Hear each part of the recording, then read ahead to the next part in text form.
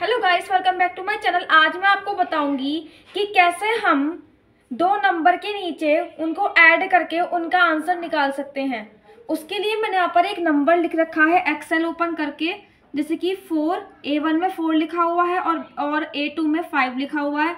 अब मुझे इसके नीचे ही ऐड करके वो नंबर चाहिए कि इसके नीचे आंसर क्या आएगा। तो मैं क्या करूँगी? मेरा कर्सर ए वन में है, अब मैं क्या करूँगी? पहले सिलेक्ट करूँगी। ए वन ए टू और ए थ्री ए थ्री को भी सिलेक्ट करना है जिसमें टोटल आएगा। तो सिलेक्ट करूँगी मैं with the help of shift down arrow key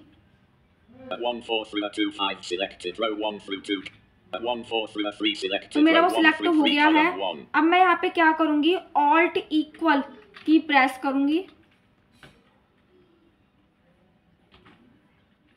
तो आप देख सकते हैं इसका टोटल नाइन आया है। Thank you guys for watching my uh, video. Please like, share and subscribe my channel.